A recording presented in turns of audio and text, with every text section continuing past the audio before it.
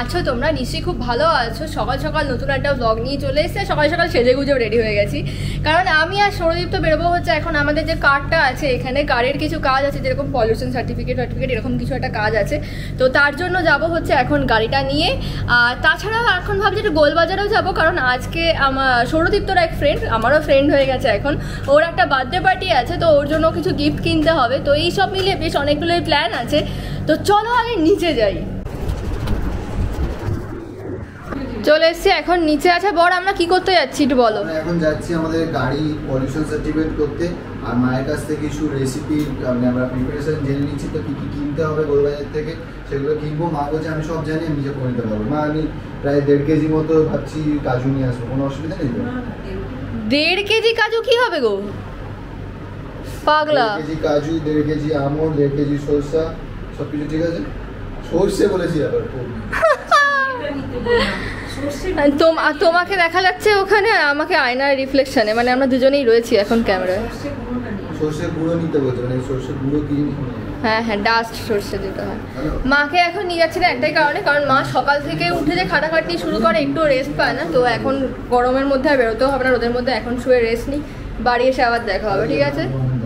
Tata ওরা খোলা থাকবে তো pollution এই জাস্ট বেরোলাম মারুতির শোরুম থেকে। যে ঘটনাটা ঘটেছিল সেটা হচ্ছে আমাদের এই সামনের যে গ্লাসটা আছে, এই গ্লাসের একটা জায়গায় না এমনভাবে ফেটেছে, তোমাদের একবার দেখাই, দাঁড়াও। এই দেখো। এই যে ফাটা দাগটা আছে, এইটার জন্যই এখন ইন্স্যুরেন্স করতে হবে, কারণ এটা যত সময় যাচ্ছে, আস্তে আস্তে তত বাড়তে থাকছে এবং বাড়তে বাড়তে না পুরো স্প্রেড করতে শুরু করে দিচ্ছে। তো এটার জন্য একটা ইন্স্যুরেন্স ক্লেম করা হলো। যার জন্য সমস্ত কাজবাজগুলো করে? এখন জাস্ট বেরোলাম। সমস্ত জায়গায় মানে ডকুমেন্টস থাকে গাড়ির অন্যান্য জিনিসপত্র। জাস্ট কি। হয়েছে বলতো? রাস্তা দিয়ে যেতে যেতে একটা পাথর এসে এর উপর পড়েছিল। ওই যে পাথরটা পড়ল তখনই চিটটা ধরেনি। তারপর যখনই এসি চালানো হচ্ছে বন্ধ করা হচ্ছে রাস্তায় থাকছে গাড়ি এরকম ভাবে মানে ঠান্ডা গরম ঠান্ডা গরমে ওই ফাটলটা আস্তে আস্তে বাড়তে শুরু করে দিয়েছিল। এখন ভাবলাম ওই জন্য যে এটাকে ঠিক করে নেওয়া যাক ইন্স্যুরেন্স করে। তো সব মোটামুটি কাজ কারবার হয়ে গেছে। এখান থেকে কাগজপত্র সমস্ত অফিসিয়াল ওয়ার্কও হয়ে গেছে। এখান থেকে এখন আমরা যাচ্ছি হচ্ছে গোলবাজারে। আর গাড়ির মধ্যে ঢুকে মনে হচ্ছে যেন একদম পুরো একদম তন্দুরে হয় না? মানে যেগুলোতে ওই তন্দুরে রুটি বানানো হয় সেরকম জায়গায় ঢুকে গেছে।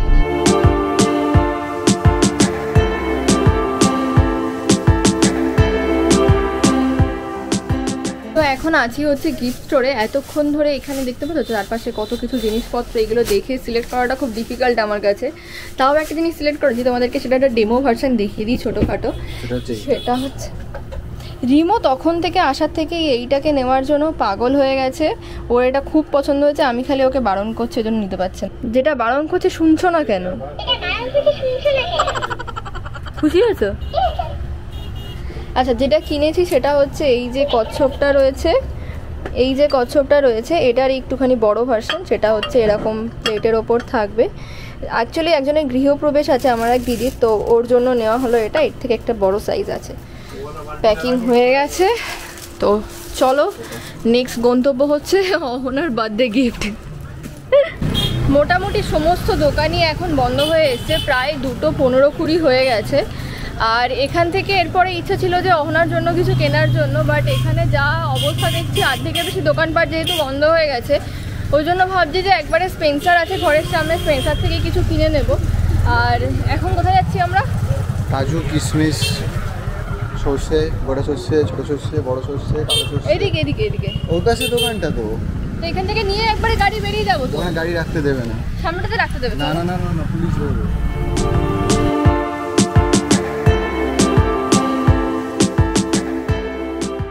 যে গরমে না মানে আমরা সে মনে হচ্ছে স্নান করে উঠে এসেছি আরেকজনকে দেখো আর তার সাথে লস্যি না হলে কী করে চলে বলো? মানে গরমে লস্যি খাওয়ার মজাটাও আলাদা কিন্তু মানে এরকম ঘামবো সাথে একটু বরফ দিয়ে লস্যি খাবে না লস্যি খেয়ে মজা নেই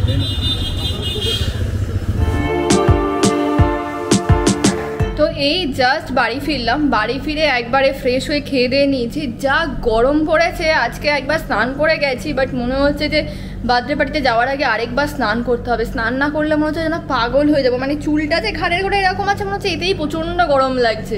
এখন একটুখানি ঘুমিয়ে নেব, এটা আমার স্লিপিং আওয়ার্স আবার সন্ধ্যেবেলা উঠে দেখা হচ্ছে। বলে না যে টায়ার্ড হওয়ার পর যে ঘুমটা, পাগলের মতো সে ঘুমটা। মানে আমি আর তিসিতে ঘুমিয়েছি, তখন বাজে হয়তো চারটে, সাড়ে চারটে এরকম। এখন বাজে সাতটা। আমাদের ওদের বাড়িতে যাওয়ার কথা ছিল সাতটার সময়। ঘুম থেকে উঠেছি সাতটার সময়। মানে কোনো অ্যালার্ম ফ্যালাম কিচ্ছু দিয়ে ঘুমোয়নি। কেন কি আমি চাইছিলাম ভালো করে ঘুমটা হোক আমার অ্যাটলিস্ট কারণ আমি বিকেলে ঘুমটা তো পুরো উইকডেজে করতে পারি না। তো আজকে ঘুমটা আমার দরকারই দরকার ছিল। এই মুহূর্তে আমি মানে এখানে তো কোনো জামা কাপড় নেই ওখানে পরে যাওয়ার জন্য। তৃষিতা তাও একটা পেয়ে গেছে মোটামুটি কাজ চালানোর মতো। আর আমি হচ্ছে এইখানে লাস্ট যে একটা বিয়ে বাড়িতে গেছিলাম, তাতে এই হোয়াইট শার্টটা পরেছিলাম আর একটা এরপর টাক্সিডো পরেছিলাম। সেই দুটোই আজকে আবার পরে যাচ্ছে, আর কিচ্ছু নেই এখানে পরার মতো। আর এই মুহূর্তে কী করছি বলতে আমি আমি এখন এই শার্টটা পরে, তার নিচে একটা হাফ প্যান্ট পরে বসে আছি, কারণ কিনা ম্যাডাম রেডি আমি বললাম, এখন যদি আমার এত কিছু পরে নিই আবার গরম লাগতে স্টার্ট করে। ম্যাডাম বলছে, তুমি হাফ প্যান্ট পরে আছো মিরার রিফ্লেক্সনে চলে এলে কিন্তু একদম তারপর বলবে ডিলিট করতে না, আসুক। কিচ্ছু ভয় নেই। ম্যাডাম আজকে ভাবছিল একটা মেকআপ টিউটোরিয়াল দেবে বাট সেটা দেওয়ার গেল না তার বাট কারণ- বাড়ি ফিরে আমি শিওরলি দেবো ওটা। তার কারণ হচ্ছে অলরেডি বাজে সাতটা এবার মেকআপ টিউটোরিয়াল দেওয়ার পর যদি ওখানে যাই আর তারা পরদিন ব্লগটা দেখে যে ও এই কারণে দেরি হয়েছে তোদের ব্লগ করাচ্ছি দাঁড়া। তাই তো? চাপের বিষয়। চাপের বিষয়। না দেরি করতে চায় না যখন ডেকেছে কারণ আজকে বার্থডে আই থিঙ্ক ওরা এই টাইমে তো কেক ফেক কাটার একটা ব্যাপার রেখে দেয়। যদিও অনেককে ডেকেছে দুটো লোক না গেলে হয়তো অসুবিধা হয় না বাট যদি খোঁজে বুঝতে বুঝতেই পারছি। তো চলো তাড়াতাড়ি রেডি হয়নি আরও একটা ব্যাপার, আমরা এখনও গিফট কেনার সময়ই পাইনি। গিফট যে কি কিনবো কি করব? কিছু বাহানা ছিল ঠিক আছে? ফার্স্টে ভেবেছিলাম বোলবাজার যাচ্ছি ওখান থেকে কিনে নেব তারপরে ভাবলাম যে বাড়ির সামনে একটা দোকান আছে ওখান থেকে কিনে নেব। বাইরে যখন সে কার পার্কিং করে দেওয়া হয়েছে তখন রিমা বলছে থাক যাওয়ার আগে স্পেন্সার পাশেই গেছে স্পেন্সার থেকে নিয়ে নেব। কারণ হচ্ছে যেখানে গিফটটা হয়েছে তো যেখানে গিফটটা কিনতে গেছিলাম সেখানে যে জিনিসটা পছন্দ করেছি আমরা তার কাছে সেটা নেই। তার প্যাকেট নেই তার কিছু নেই মানে একটা ফালতু গিফটের দোকান, সত্যি কথা বলছে। আমি গিফট দোকানটার নাম ফাম নিয়ে নিজে তুমি জন্য বললাম, একদম বেকার। মানে তার দোকান করার ইচ্ছেই নেই। লাইক মানে এটা এটা দাও। বলছে, এটা তো গোডাউনে আছে, আনতে যেতে হবে। আমি আমি কি বলব নাকি? এনে দাও আমাকে। আমি এটা পছন্দ করেছি। একটা পছন্দ করে গিফট এনেওছি আজকে সেটাতে আবার মানে মানে খাপ দিয়েছে কিছু জানো তো জিনিসটা করছ ওপরে যে প্যাকেজিংটা করে সেটা হচ্ছে একটা চা একটা চা খাবার প্যাকের ফটো ওর উপরে। মানে লোকে যখন গিফটটা খুলে ভাবে একটা চা কাপ দিচ্ছে ভেতর থেকে দেবে একটা কচ্ছপ বেরোচ্ছে। মালটা ঘরে ছিল সেটাকে গজিয়ে দিচ্ছে। সেটাও তো ভাবতে পারে। না ব্লগে প্রুফ রেখেছি। যদি কেউ ভাগে ব্লগটা বলবে চ একদিন ওই ব্লগটা দেখো তো একটু ব্লগটা দেখো এরকম বল আমি ওটাই বললাম সে ভাববে যে বাড়ির মধ্যে হয়তো ছিল ওটাকে একটা কোনো যে কোনো দোকান থেকে প্যাকিং করে নিয়ে চলে এসছে। কেউ দেয় বলো একটা গিফট সেই গিফটের সাথে যে প্যাকিংটা সেটাই তুমি দেবে না, সেটা নেই। ওর মধ্যে কচ্ছপটাকে ঢুকিয়েছে একটা চা খাওয়ার মানে প্যাকেজিংয়ের মধ্যে।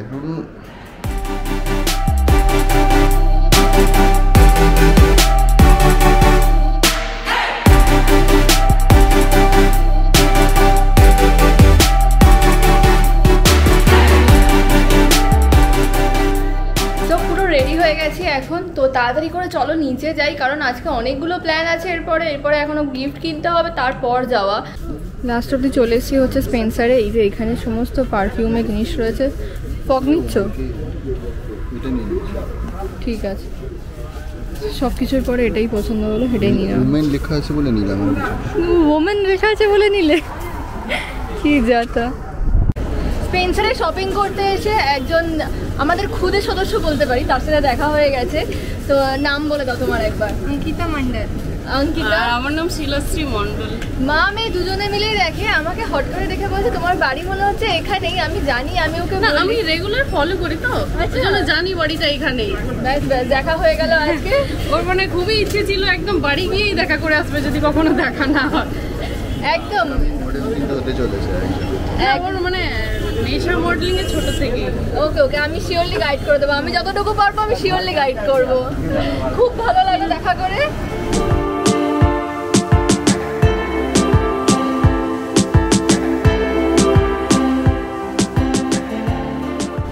তো অনেক দৌড়ছুট করে অলরেডি পৌঁছে গেছি। খুব ভালো লাগল যে একজনের সাথে দেখা হয়ে গেল স্পেন্সারে গিফট কিনতে কিনতে। এগুলো লেখা থাকে ভাগ্যে ওই জন্য স্পেন্সারের গিফট কাটা বাকি ছিল এই সময়তেই।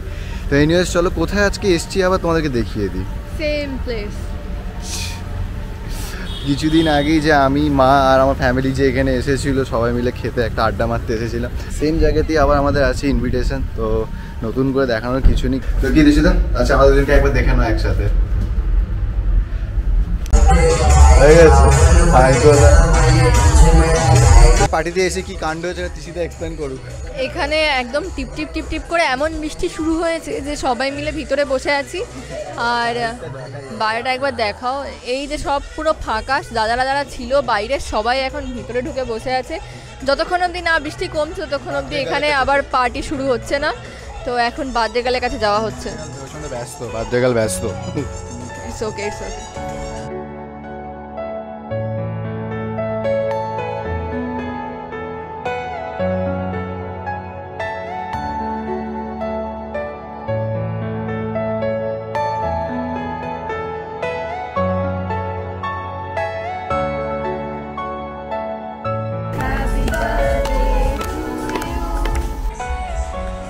আমি এখানে বসে আছি তিসিদা পাশে পাশে তার বয়ফ্রেন্ডের সাথে না গার্লফ্রেন্ডের সাথে ফিস ফিস করে কথা বলছে।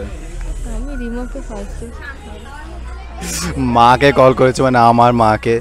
মানে একটু কিছুক্ষণে যে আলাদা এসছে সেটা ভালো চলছে না। মানে বলছে যে মাকে ফোন করো তো বেকার পর বোর হচ্ছে আড্ডা মারি। তাই তো? হুম। দেখো কেমন করে কথা বলছে দেখো। মানে সে কিছু ছোটোবেলায় বয়ফ্রেন্ড গার্লফ্রেন্ড এরকম ফিস ফিস করে কথা বলে পাশে যেন না শুনতে পারে এরকম করে কথা বলছে।